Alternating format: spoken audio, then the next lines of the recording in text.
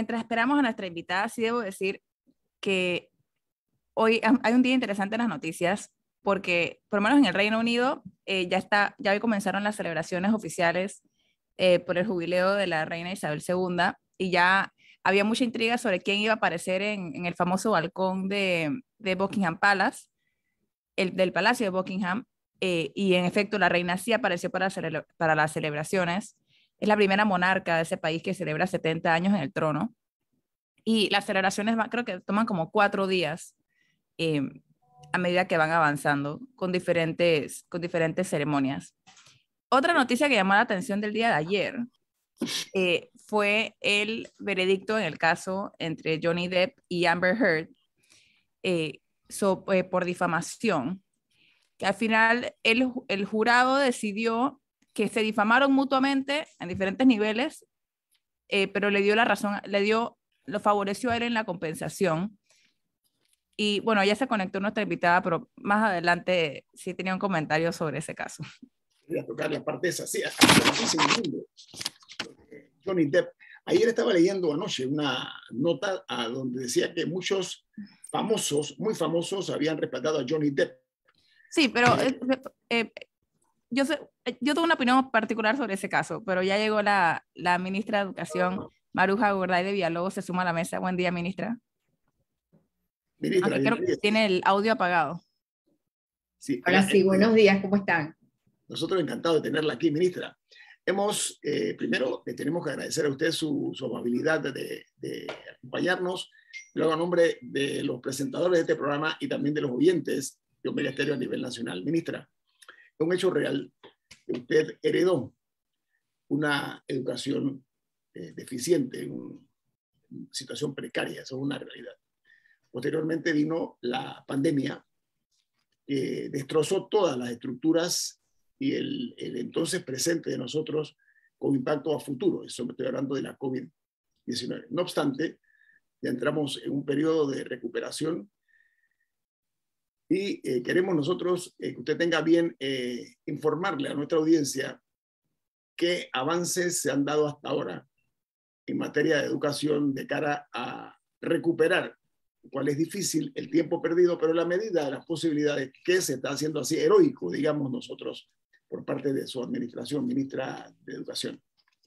Sí, muy buenos días, doñito. Eh, saludos a, toda la, audiencia y saludos a todos los que me acompañan, a Camila, a don Milton. Eh, la verdad que eh, estamos ya en la penúltima semana del primer trimestre del año lectivo 2022 y un, aspecto muy importante es que de nosotros lo planificado en esa recuperación académica nos hemos encontrado con, variables que posiblemente eh, no pensamos que iban a ser de tan profundo impacto, como lo has dicho tú, en la calidad educativa. Obviamente nosotros tenemos todo un reto de infraestructura y que aún en pandemia nosotros pudimos entregar más de 100 proyectos por un monto de 232 millones de dólares, incluyendo 55 escuelas que pasaron de ser escuelas ranchos a ser escuelas pues con las condiciones eh, necesarias para dar clase y, tener los niños dignamente un espacio.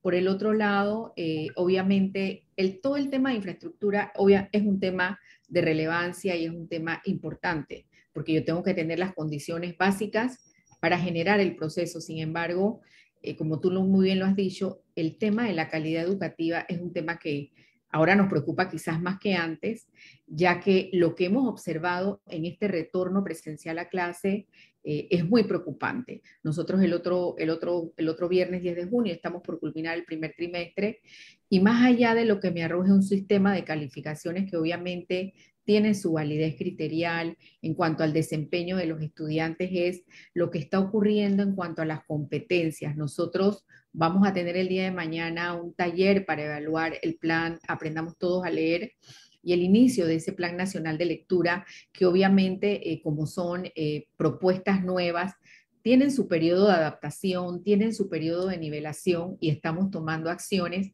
para fortalecernos, para fortalecerlos y que pueda tener más cobertura. Obviamente eh, vamos a, recurrir a una disposición normativa a través de un decreto ejecutivo que sea de obligatorio cumplimiento en todos los centros educativos, porque esos son uno de los temas que tenemos que, que tenemos que mejorar. Por el otro lado... Ministra, porque eh, hay que verlo en un mundo real, no fuera de la, cualquier especulación. A ver, los docentes son los formadores de las nuevas generaciones y juegan un rol fundamental. Pero también hay que entender que eh, en cuanto a los maestros, que son precisamente los, eh, digamos, los constructores de las, de las eh, presentes y futuras generaciones, tienen que tener también niveles adecuados para tener una buena educación. O sea, quien, quien enseña tiene que estar bien preparado para poder cumplir con esa noble misión en cuanto al desarrollo humano de calidad. Estoy hablando de educación de calidad. ¿Qué se está haciendo en ese sentido de que los eh, maestros y profesores acepten el desafío de que tienen que formarse adecuadamente y que sean evaluados, que eso en Panamá tengo entendido que no sea evaluaciones que deben ser muy estrictas, ministra. No puede haber aquí, aquí no puede haber castas, aquí no puede haber sectores privilegiados. Los maestros y profesores tienen que aceptar que necesitan, necesitan y pronto ese tipo eh, de, preparación alterna a la que recibieron originalmente? Sí, te, respondo por la última pregunta. Nosotros ya estamos quizás en, en, un mes de presentar esa modificación del decreto 100 que establece las funciones de todo el personal docente del Ministerio de Educación, directores, supervisores y docentes. Eso es un gran paso porque es parte de ese acuerdo que se da hace muchos años ya, hace muchos años ya de establecer un sistema de mejoramiento de calidad educativa y establecer un programa integral de mejoramiento educativa que va ligado a la modificación de ese decreto y a cambiar significativamente esos criterios de evaluación docente que datan de más de 50 años. Yo creo que eso es positivo y todos nos vamos a tener que ajustar ya que eso va a ser una norma donde se modifique el actual decreto 100 del 14 de febrero. Por el otro lado, a nivel de capacitación, yo sí tengo que reconocer, nosotros hemos dado un salto significativo. Ya nosotros prácticamente no tenemos esas capacitaciones tradicionales, que no solamente estamos hablando de una cantidad de horas para obtener un cierto puntaje, sino de que estamos yéndonos ya a procesos de más largo, eh, más larga ruta para generar acompañamiento de aquellos facilitadores y tutores, como es exactamente el plan de Aprendamos Todos a Leer, que impacta a todos los maestros de, grado de, primaria de nuestro país, alrededor de 17 mil docentes. ¿Y por qué te hablé que vamos a hacer una evaluación? Porque de una N cantidad que se matriculó, se nos han restado 3 mil de una primera corte o otros que no se están conectando y vamos a generar otros procesos de poder eh, contar con esa capacitación, porque exactamente en este caso específico de los grupos de primaria, donde tenemos que fortalecer esas competencias de lectoescritura y de matemática lógica básica, requerimos que nuestros maestros, perdón, estén eh, a, la, a, la, par o a la vanguardia con esa propuesta de trabajo de las cuales fue realizada por propios docentes panameños, obviamente validada con pares nacionales y pares externos.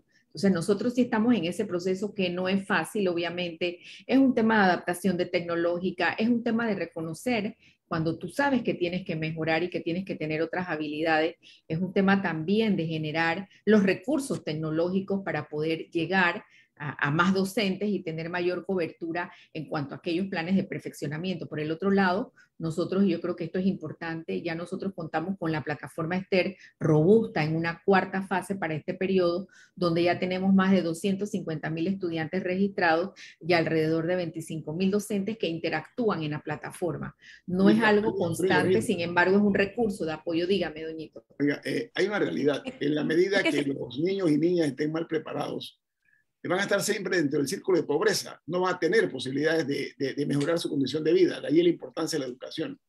No, y el hecho también de que, de que cifras recientes que mostraron que el 64% de los estudiantes tenían, tenían problemas de lectura y escritura, eso requiere medidas de emergencia. Entonces, ¿cuáles son esas medidas de emergencia que se están tomando eh, para para atacar eso, que, hubo un gran incremento, o sea, ya estaba alto antes de la pandemia, no fue un problema exclusivo de la pandemia, que se empeoró, pero ¿cuáles son un poco las medidas de emergencia que se están tomando para atender eso? ¿Se va a traer gente de afuera para reforzar el sistema? Eh, ¿Se va a extender el horario de clases? Eh, ¿Se va a trabajar un poco? ¿Se va a cortar el verano? O sea, ¿qué medidas de emergencia va a tomar el, el Meduca? Sí, Camila, te comento lo siguiente. Nosotros eh, terminamos el trimestre el otro viernes. Nosotros a partir de mañana iniciamos un proceso de evaluación de programas muy específicos tendientes a la recuperación eh, de los aprendizajes. Este programa, como te hablé, Aprendamos Todos a Leer, es la respuesta con el Plan Nacional de Lectura a los hallazgos que se dieron en el año 2017 y 2018 de las pruebas educativas que se complementaron con la prueba, con el estudio regional comparativo explicativo que se conoce como ERCE 2019 y los resultados de PISA 2018. Esto estaba ya sobre la ruta, sin embargo, a nosotros nos toca como administración ajustarlo y ejecutarlo. Obviamente, la pandemia obliga a que inicie ese proceso a distancia y obviamente no fue un proceso que tuvo mucha cobertura. Este programa en específico va debe dar aproximadamente en cinco años, midiendo cada año las cohortes y los grupos debe empezar a generar resultados de mejoramiento significativo de las competencias. ¿Y por qué te hablo de que debe? Este programa ya fue utilizado en otros países de la región donde significativamente el cambio en esas evaluaciones de país de los procesos lectores mejoraron. Por el otro lado, te estamos hablando de dos proyectos específicos con sus programas, con su material educativo entregado con capacitaciones docentes. Sí tengo que reconocer, como lo dije, que el tema de la capacitación docente para conectarte con esta nueva estrategia, porque realmente es una metodología conocida, pero a través de una estrategia que tiene mayores recursos tecnológicos interactivos, impresos gratuitos para todos los docentes y para todos los estudiantes, y que no es la metodología tradicional de que te capacitas 40 horas en verano. Estamos hablando de diplomados de más de 180 horas de duración y que te genera un acompañamiento con un tutor no estamos preparados para eso como docentes y obviamente estamos tratando de hacer ajustes en ese plan y en esa ruta que teníamos porque tenemos que llegar por lo menos al 80% de los docentes o al 70% en este año, porque el tiempo que se pierde no se recupera y sobre todo en esas edades. Por el otro lado, nosotros estamos con el Laboratorio Latinoamericano de Evaluación Educativa SUMA, trabajando un plan, un plan nacional de recuperación integral socio, eh, socioemocional de los aprendizajes conocido como PRISA.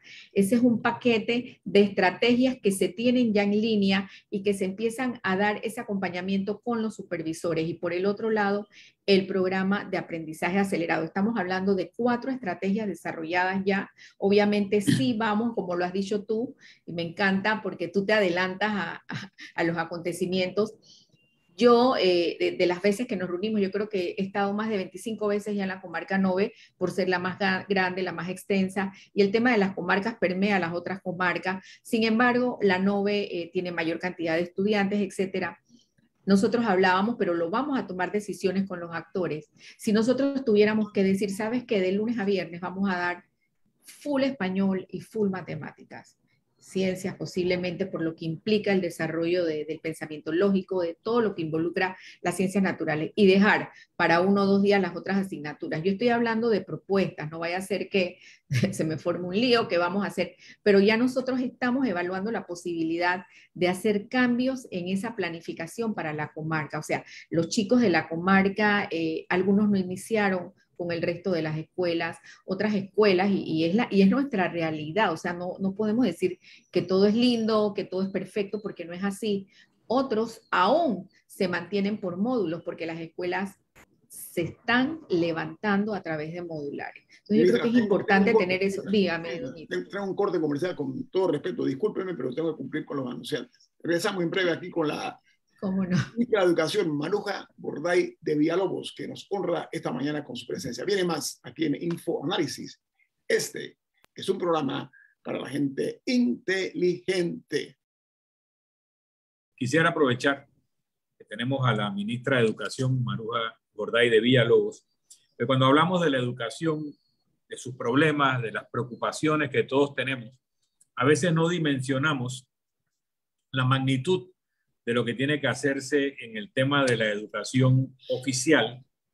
Yo quería preguntarle a la señora ministra, para beneficio de nuestros oyentes, ¿cuántas escuelas oficiales hay en Panamá? ¿Cuántos docentes de escuelas oficiales tiene el Ministerio de Educación y cuántos alumnos están en las escuelas oficiales que tienen que administrar? ¿Y cuántas escuelas anualmente hay que darle mantenimiento o reparación? Sí, mira, yo creo que es importante hablar primero del todo. Nosotros cerramos el año lectivo y yo creo que usamos esa cifra de referencia y es la proyectada con 978 mil estudiantes eh, a nivel nacional, casi 979 mil. De esos, de esos prácticamente, incluyendo subsistema regular y no regular. Cuando digo no regular es educación inicial, jóvenes y adultos, educación especial y todo lo que impacta, ¿verdad? Donde hay un maestro y donde hay un servicio y una oferta educativa desde tres años en adelante. Por el otro lado, nosotros en el sector oficial tenemos 800.473 estudiantes al corte de diciembre y es lo proyectado prácticamente, la cifra se mantiene, ha crecido casi un, un 3% de matrícula para este año, que se comprueba ahora que se entregan las notas del primer trimestre con el sistema de administración, que es el CIACE. Es importante saber que nosotros tenemos 3.102 escuelas del subsistema regular. Cuando hablamos de reparaciones, de mantenimiento, de construcciones, estamos hablando de esa cantidad de escuelas, ya que hay 638 del subsistema no regular, pero si nos vamos a las escuelas nocturnas, que son alrededor de 500 operan en nuestras, en nuestras estructuras de las escuelas diurnas. Así que nuestra, nuestra meta, eh, desde que instalamos el CON Escuela, hablamos de 3.102. Si tengo que decirle que hemos creado alrededor de 14 escuelas nuevas que se crean eh, dividiendo eh, escuelas integrales y donde voy a tener una media, donde voy a tener una nocturna. Pero nuestra meta de, de país o de sistema es 3.102 y es a lo que nosotros apuntamos. El CON Escuela identifica alrededor de 650 700 escuelas para incluir un programa de, reparación agresiva. ¿Por qué? Porque son escuelas que necesitaban intervenciones significativas para poder nosotros tener las operativas. Y cuando hablamos operativa es lo básico. Y yo vuelvo y pongo el ejemplo. En comunidades en Paso Blanco, ejemplo, o, áreas de muy difícil acceso, donde la misma comunidad no tiene agua, no podemos decir que nosotros íbamos a prometer tener agua porque no hay agua en la comunidad. Sin embargo, nosotros hemos estado realizando una serie de proyectos de instalación de cosecha de agua que ya contamos con 15 entregados, donde incluso esa agua abastece, abastece no solo a la escuela, sino a la comunidad. Pero sí es importante sí es importante resaltar, digo aquí, ¿verdad? Es importante resaltar que de esas 3.102, nosotros tenemos alrededor de 1.800 escuelas con menos de 100 estudiantes y 862 con menos de 25 estudiantes. Significa que mi fuerte para mantenimiento y reparación son alrededor de 1.500 centros educativos, de los cuales yo puedo tener más de 80 centros educativos con más de 2.000 estudiantes y muchos centros educativos con 3.000 y 4.000. Ahí es donde está realmente esa inversión fuerte que tenemos que hacer y sobre todo el compromiso que tenemos de ODS 4 y de país de erradicación progresiva de escuelas rancho. Ministra, que sigue siendo... Tengo un reporte de sintonía permiso, Milton, un reporte de sintonía de la familia Montezuma. Rodrigo Montezuma en la comarca dice que están en sintonía, que son oyentes de Omega Estéreo y de Infoanálisis. Así que para que sepa que la están escuchando. Sí, ellos Muchas gracias. Saludos, saludos. Cantidad de docentes que se tienen que nombrar cada año o, el proceso de nombramiento. Estamos hablando de una totalidad de 140 mil, 180 mil docentes. ¿Cuántos son? No, los docentes del, sector oficial son 47 mil docentes. Entonces, 47. sí, 47 mil, 47 mil docentes. Eh, nosotros este año, eh, el concurso y todo lo que implicó el nombramiento de docentes instructores ascendió a 4 mil 424, cifra exacta al 30 de abril. Sin embargo, nosotros seguimos con solicitudes de aumento y esas solicitudes de aumento implican otra ruta que es el concurso, llevar a la Junta, entregar documentos y ahí hemos tenido que hacer algunos ajustes. Sin embargo, yo puedo asegurar que nosotros tenemos el 99% de los docentes, ya es más, hay escuelas donde estamos haciendo reajustes porque hay más docentes de lo que requiere la población educativa de esa escuela. Ministra, ahora mencionábamos el número de escuelas, etcétera. ¿En algún momento se ha planteado seriamente la posibilidad de que escuelas pasen a municipios, o sea, a ser manejadas localmente por municipios? ¿Se ha considerado eso, al menos en ciertas áreas del país en las que es difícil a que Meduca llegue, o ni siquiera ha estado sobre la mesa esa posibilidad? Mira, yo creo que es importante señalar cuando nosotros iniciamos y se dio esta priorización de políticas, sobre todo cuando inicia la emergencia, eh, a través del COPEME y el compromiso del diálogo que, que, que, permea y es nuestra estructura para nuestro plan estratégico y de trabajo, se habla de que hay una meta clara que es la descentralización, que ya existe, pero el tema es que no solo paso recursos, yo tengo que generar, como eh, asumo que lo estás planteando, todas esas capacidades de recursos humanos, las competencias y los recursos para quizás evitar algunos temas burocráticos. por, lo menos la parte de infraestructura, que sean los municipios los que estén a cargo el alcalde que vive enfrente de la escuela, que sea el que esté a cargo de que la escuela esté bien. Mira, el con escuela prácticamente fue una práctica muy acertada de esa descentralización. Sin embargo, nosotros tendríamos que buscar los mecanismos de pasar los recursos. Quiero comentarte, Camila, que los más de 700 tanques de reserva de agua se están manejando a través de los municipios, digo, a través de las juntas comunales, como gobierno local, y estamos trabajando ya eh, con PNUD un proyecto de transferencia de más de 600 mil dólares a los municipios municipios para todo lo que es insumos de, de bioseguridad. Sin embargo, estamos transfiriendo recursos presupuestarios y económicos y nos están apoyando con sus capacidades. Sin embargo, nosotros sí tenemos dentro de nuestros planes al menos dejar tres regiones descentralizadas a nivel de administración, a nivel de concurso, a nivel de manejo de sus presupuestos, a nivel de compras de comidas, que también lo estamos llevando a las regiones educativas. Sin embargo, nosotros tenemos que hacer una auditoría de la capacidad que tenemos en recurso humano, porque no es ahora que porque descentralizo voy a tener que tener el doble en la planilla y nuestra realidad de país en este momento con la situación de ingreso fiscal no está para eso, pero sí está dentro de los planes y esto ha sido incluso consolidado con las metas priorizadas que, la, que le dan seguimiento y que le damos pues como parte del sector en COPEME. Bueno, mientras eso ocurre, eh, los directores de escuela y autoridades locales educativas se quejan de que tienen muchos problemas para tener acceso al FESE, de que necesitan contratar a un trabajador para limpieza de la escuela, pero no pueden tener acceso al FESE. ¿Qué está pasando? Con el FESI. el, tema del FESI es que nosotros estamos sujetos a lo que establece eh, la, eh, la, ley de contrataciones públicas y obviamente sabemos que tiene muchos pasos. Obviamente eso es para todo, para garantizar la transparencia en, en los procesos.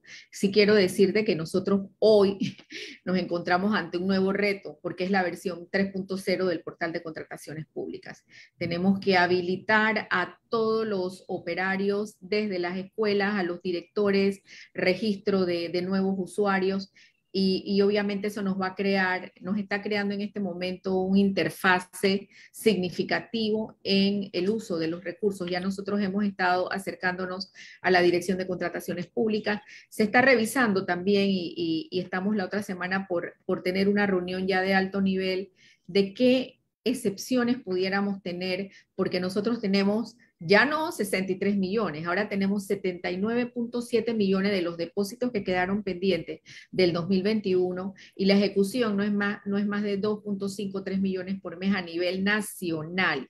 Lo que sí hemos podido avanzar es que las escuelas donde no hay internet se les hizo una certificación y pueden hacer compras locales y compras manuales. Sin embargo, sigue siendo un gran reto del sistema educativo generar los mecanismos de articulación y ejecución del FESE.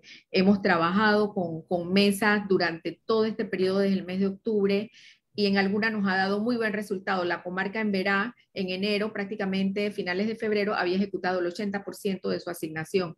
Sin embargo, seguimos teniendo el gran reto en la comarca Nove con, una, con un saldo de más de 11 millones de dólares a la fecha, habiendo tanta, pero tanta necesidad y escuelas con más de 250 mil y 300 mil balboas. tengo otro corte comercial. La ministra Maruja Gorday de Villalobos nos eh, distingue esta mañana aquí en Infoanálisis. Ministra, durante muchos años, por décadas, eh, hemos vivido en un oscurantismo en cuanto a la educación sexual. Es más, eh, ese es uno de los graves problemas que estamos viviendo, no ahora mismo, sino desde el siglo pasado. Lo malo es que se estuvo transitando con mentalidades, yo diría, decimonónicas en cuanto al trato de la sexualidad en los menores de edad esto trajo como consecuencia algo muy delicado y es los embarazos en las menores de edad, embarazos que son menores de edad de verdad, de 10, 11, 12 años, lo cual es una aberración a todas luces. Ministra, la buena noticia, se ha aprobado una ley de educación sexual. El propósito, el objetivo es reducir precisamente estos eh, embarazos en las menores de edad pero sobre todo los abusos sexuales, que son otro de los males que tenemos nosotros sociales en este país. Háblenos acerca de, la, de cómo vamos a hacer para efecto de la aprobación ahora ya de esta ley de educación sexual en el, en el país. Sí, mira, a nosotros nos complació mucho eh, ver ya la aprobación de la ley, que asumimos que está por sanción prontamente, la ley 657 de educación en la sexualidad y afectividad, porque ese es el título de nuestras guías. Eh, yo creo que es importante hablarles de que hemos capacitado alrededor de 2.482 docentes y prácticamente 13.000 padres de familia a la fecha. Lo más importante de esa ley es que el artículo 1 establece que el Ministerio de Educación cuenta con esas guías para desarrollar. Obviamente las guías han sido objeto de algunas críticas, sin embargo yo creo que es importante resaltar de que ahí no solamente participaron eh, grupos o denominaciones, ahí participaron nuestro equipo de apoyo psicopedagógico, padres de familia, científicos de nuestro país, médicos, eh, ginecólogos, obstetras, eh, una gama de científicos, además de, de las iglesias que participaron y hay que reconocerlo porque esto promueve desde pequeño el valor y el respeto a tu cuerpo. No es un tema de que tú vas a empezar a hablar de sexualidad y de prevención del embarazo. Esto conlleva un desarrollo integral socioafectivo y biológico del niño, el enfoque biopsicosocial que establece nuestra ley orgánica y que, y que para lo cual se crea el sistema educativo. Yo quiero decirte que hay escuelas donde sí, en un lapso de dos o tres años, aplicando un seguimiento para los estudiantes adolescentes, que es donde vemos el incremento del embarazo en adolescentes, se ha podido contener o disminuir. ¿Qué ocurrió con la pandemia? Se nos dispararon las cifras y eso tenemos que reconocerlo como país y se estarán dando los informes a través de las diferentes comisiones de, niñez y adolescencia. Sin embargo, como país hemos dado un paso significativo, reconocido hasta por organismos como Eurosocial, donde nosotros presentamos nuestras cinco guías que ustedes saben que costó más de cuatro años tener ese contenido, ser validado y estamos en un proceso que lo que haya que ajustar se ajusta. Sin embargo, eso va en concordancia y articulado con lo que establece nuestro currículo y nuestro plan de estudio de lo que se tiene que dar en primaria, porque son cinco guías, primaria, premedia, media, la guía para trabajar con padres y tenemos una guía que creo que ha sido uno de los aportes más significativos para trabajar con las menores embarazadas. Porque, ¿qué piensas? Ocurrió esta situación lamentable, porque es un lamentable que una menor quede embarazada por la situación que sea. Tú hablaste también de las menores que han sido abusadas. Es todo un tema de que se trunca la posibilidad de estudios, de que tiene que salir de su núcleo familiar y de que abandona el sistema educativo. La idea es que tú puedas generar a esa menor que quedó embarazada un proceso de acompañamiento y de planificación incluyendo en lo sexual, de planificación para que culmine los estudios quiero decirles que nosotros estamos en un proceso de monitoreo y evaluación, porque ahora mismo las guías son exclusivamente para los facilitadores que son docentes y padres de familia. Ya para, las, para los próximos años estamos trabajando a través de donaciones de algunas fundaciones meter el, incluir el material en una plataforma digital que ya tenemos un avance de un 25%. Sin embargo, nuestro país cuenta con una ley que respalda ya el material que tiene desarrollado. Esa fue una consulta previa, inclusive del diputado que hace la propuesta y que tuvimos conversaciones. El diputado Silva, correcto. Y, y realmente vino a llenar ese vacío de lo que ya estábamos haciendo. Entonces, ese artículo 1 que reconoce el trabajo y las guías del Ministerio de Educación nos fortalece y eso es lo bueno de trabajar en coordinación con las diferentes comisiones de la Asamblea, en este caso la Comisión de Educación y la Comisión de Niñez y Familia. Ministra, eh, por décadas, eh, las administraciones, los gobiernos que han antecedido a este, le han dado más importancia a información sobre, por ejemplo, el Producto Interno Bruto, el PIB. Les interesa y muchísimo eh, dar esa información. la cantidad de kilómetros de carreteras y la cantidad de asfalto, de concreto entre otras cosas que no son nimias, pero que no son tan importantes como la educación. A ver, eh, el tema de la baja calidad de la educación eh, ha promovido hasta ahora la desigualdad, estamos en eso, coincidimos. Sin embargo, los resultados de las pruebas estas que se conocen como ERCE, el año 2019, eh, los niños y las niñas de tercero y sexto grado obtuvieron los peores resultados de Latinoamérica es un reto de los educadores. Mire, comienzo por los educadores y eh, de la propia administración del Ministerio de Educación, eh, ver cómo se puede eh, ir mitigando ese impacto negativo y mejorando. ¿Qué se está haciendo al respecto, ministra, para salir nosotros de esa condición de pauperismo intelectual por falta de educación de los niños? Mire usted, de, imagínese usted, tercero y sexto grado. O sea, esos niños llegan a la secundaria, así que llegan con una base educativa muy eh, paupérrima, ¿no? muy, pobre. Sí, es que, es que lo que tú has dicho pone inclusive en juego la gobernabilidad de nuestro país porque son los, los ciudadanos que dentro de 20 o 30 años van a estar administrando el país, gestionando las condiciones de desarrollo del país y definitivamente es un gran reto que tenemos. Eh, por eso nosotros hablábamos de los procesos que tenemos, de los planes de mejora puntuales desde primaria el apoyo que hemos tenido, mira, yo creo que esto es importante hablar. Nosotros desarrollamos 68 complejos didácticos en esa gran variedad de guías que se entregaron y que están colgadas y que han sido entregadas para todo el nivel primario de las cuatro asignaturas básicas. Y esas guías no son el mismo contenido que, que teníamos en el 2019.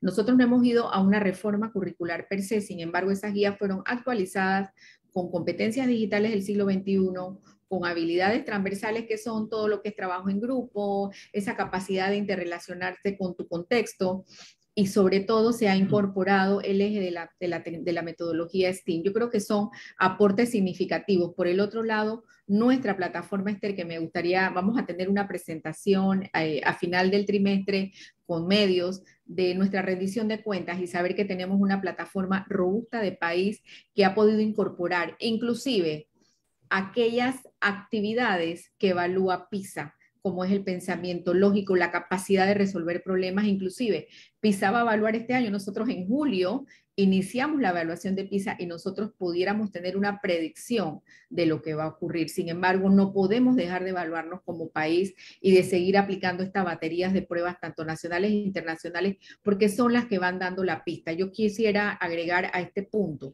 nosotros ya tenemos sancionada una política pública de eh, educación digital para la transformación de la educación. Estamos en el proceso de, reglamentación y esa política pública está acompañada de una operación financiera internacional para iniciar esos cambios que vienen desde las competencias curriculares y las competencias docentes. Además, tenemos sobre la mesa una propuesta de la Asamblea de una diputada de la transformación de la formación inicial docente desde la normal de Santiago, en la cual estamos ahora mismo haciendo ya los últimos, eh, las últimas coordinaciones porque seguramente va a ser una propuesta del Ejecutivo por la capacidad que tiene el Ejecutivo de crear instituciones. Yo creo que ahí debe iniciar el cambio. No lo veremos nosotros como administración, pero vamos dejando esas pistas y lo bueno es que eso va quedando como política pública.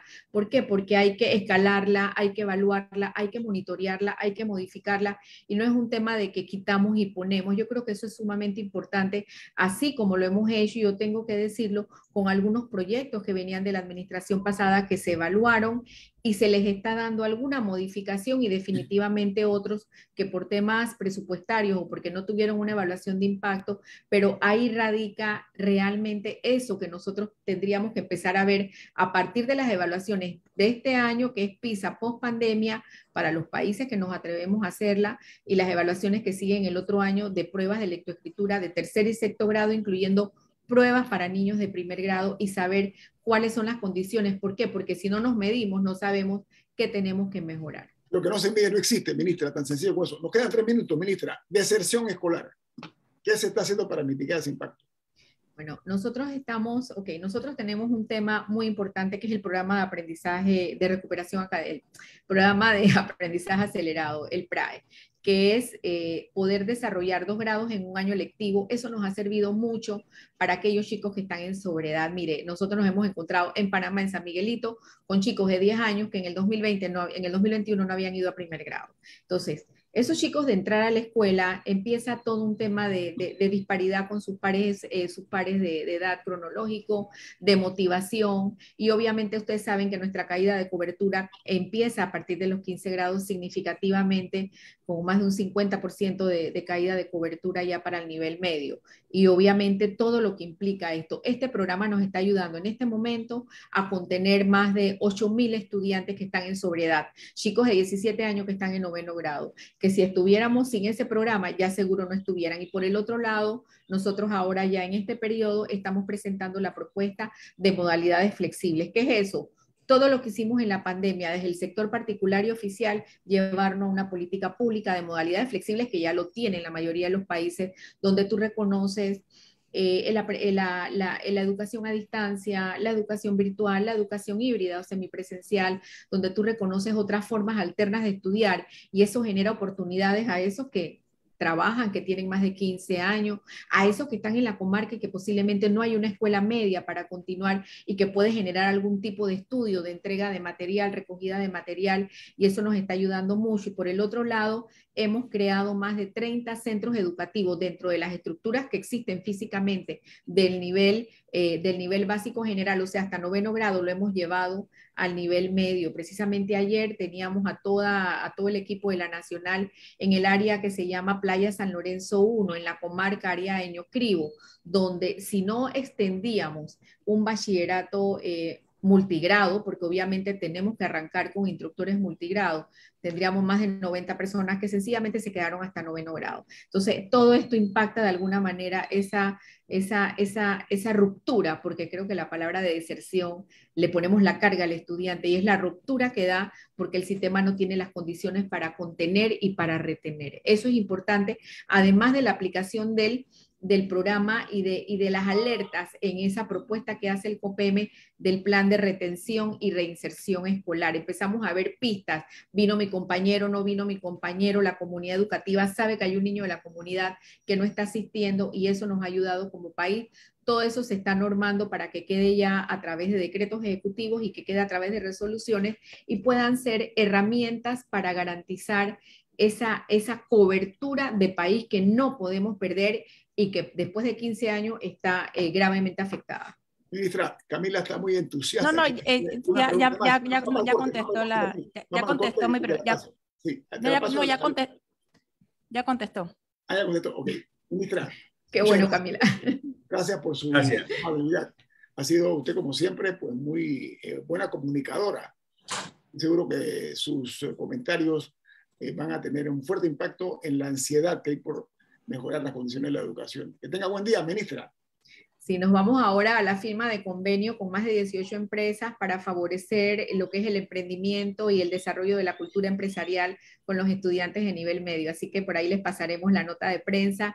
La verdad que es un gran paso que estamos dando como país. Se va a anunciar las bases del concurso de emprendimiento también que vamos a tener en el tercer trimestre para generar esa capacidad de desarrollar proyectos de autogestión en nuestros estudiantes graduados. Maruja Gordayo bueno nuestro sentido de agradecimiento. Que tenga un excelente día y exitosa gestión. Hasta luego, un abrazo, gracias. Esto es Info Análisis, un programa para la gente inteligente. Bueno, a darles a conocer, vamos ahora las noticias que son primera plana en los diarios más importantes del mundo, muy brevemente. En los Estados Unidos, el New York Times titula Las amenazas de Vladimir Putin resaltan los peligros, perdón, los peligros, decía, de una nueva era nuclear, que es mucho más riesgosa ahora. Dice que los recordatorios de Vladimir Putin sobre el tema del poderío nuclear de Rusia ha llevado a los movimientos de China, Corea del Norte e Irán a medida que el viejo orden eh, mueve eh, o da paso a una era de desorden que ayer se inició. Y el Washington Post titula Alcalde de Ubalde, que es la comunidad donde se dio la matanza de los niños. El alcalde eh, relata un frenético intento de llamar al pistolero durante la masacre.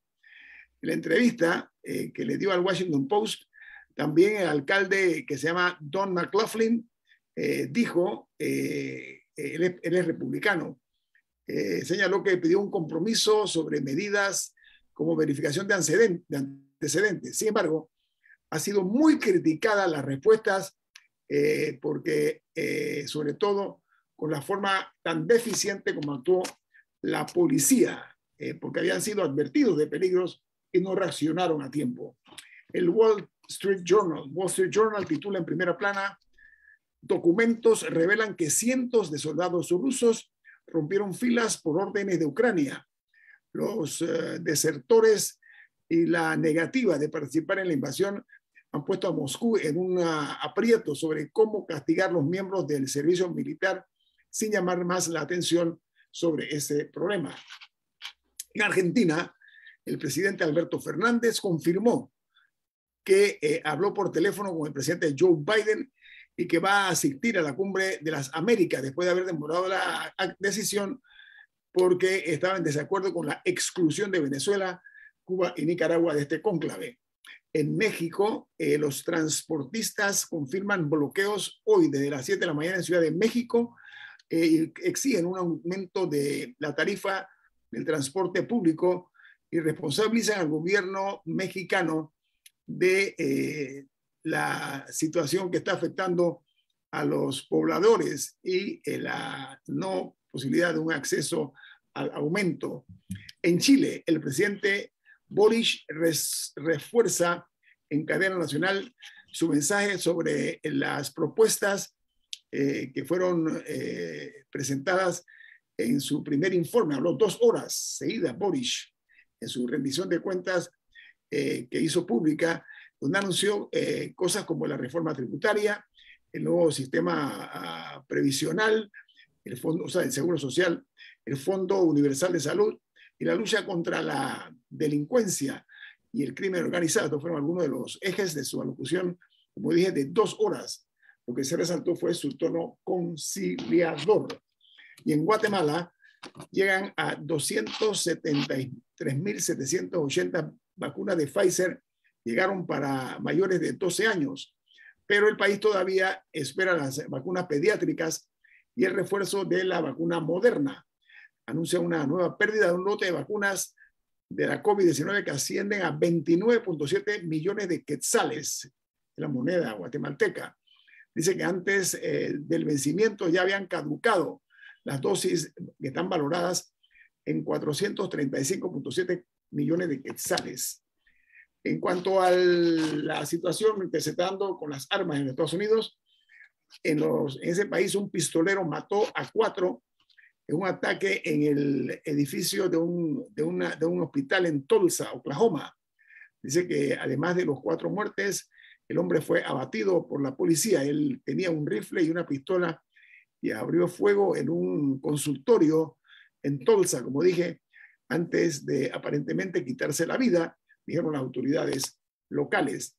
Y en Perú, el Congreso rechazó la inhabilitación del exfiscal general de la Nación, o sea, el procurador de nombre Pedro Chavarri. Él se le había propuesto que 10 años de veto que no podía ejercer cargos públicos. La denuncia fue en base a que él había eh, su actuación en la investigación contra Keiko Fujimori por lavado de activos y su decisión también de reactivar denuncias contra el expresidente de ese país, Martín Vizcarra. Eh, iban a descarrilar eh, de la cosa pública al ex procurador. Y en El Salvador, el discurso del presidente Bukele en la Asamblea Nacional fue para justificar el régimen de excepción. Bukele dijo estar eh, cerca de ganar la guerra contra las pandillas.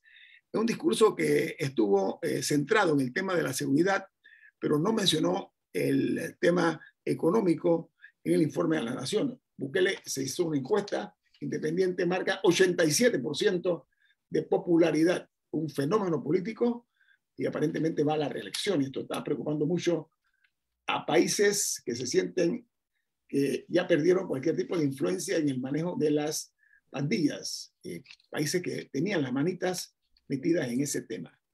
Y cierro las internacionales, porque dice que después del triunfo de Petro en la primera vuelta, eh, él habló, por ejemplo, de, le hizo un mensaje a las mujeres, donde dijo, mujeres a la casa o mujeres al poder y la libertad, como una pregunta. Porque eh, su contrincante Hernández le respondió, dice, es bueno que ellas, o sea, las mujeres, eh, puedan comentar de política, pero que apoyen desde la casa, porque la mujer activa en el gobierno a la gente no le gusta. Creo que el señor Hernández se está equivocando en esa estrategia misógina, como la están calificando mucha gente. Bueno, aquí termino la internacional. Camilo, usted tiene una internacional que tiene mucho interés. ¿Cuál es la noticia?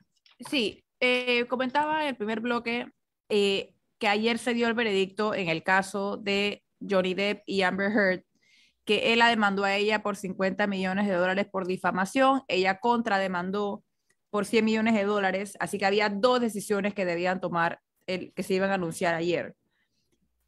El jurado decidió que en diferentes niveles ambos se difamaron mutuamente. Favoreció a Depp en la compensación, que primero se dijo que iban a ser 15 millones, pero al final van a ser 10 y tantos, porque hay un, un límite en el estado de Virginia. Eh, y lo favoreció a él en todos los cargos de su caso y a ella nada más en ciertos del caso de ella contra él. Ahora, mi comentario va más orientado a que yo soy de la opinión que este caso nunca debió haber sido televisado. En este caso lo fue, o, más, más, bien fue transmitido eh, en línea y de ahí se agarraron muchos medios para transmitirlo. Pero, y eso es por las leyes locales de Virginia, porque un fallo de la Corte Suprema le da, de, hace unos, hace años le dio a cada estado la potestad de, sus cortes locales decidir eh, cómo lo querían manejar. O sea, es un tema de, y en el caso de Fairfax County, en Virginia, donde se llevó a cabo el caso, ellos, si el juez está de acuerdo, lo transmiten.